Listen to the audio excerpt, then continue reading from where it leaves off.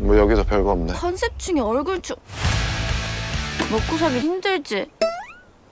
원래 원래 저런 애가 아닌데 어찌 할까요, 박사님? 망주석에 있던 망령은 퇴마해야지.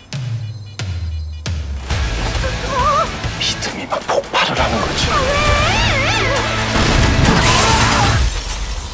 결국 우리가 상대하는 건 뭐다? 건당 천만 원이어서 천박사라고 들었어요. 강도래는 어떻게 해요? 사람 아닌 것들. 뭐 쫓아내거나 뭐 적당히 타일러 가지고 뭐 대화를 하거나. 뭐야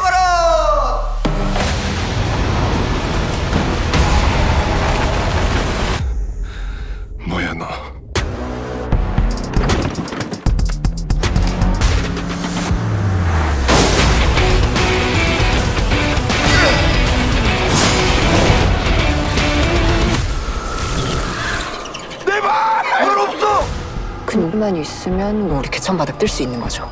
근데 하필 칠성금 칼잡이가 나타난 거지. 원래 이런 놈들은 그냥 없앨 수가 없는 거야.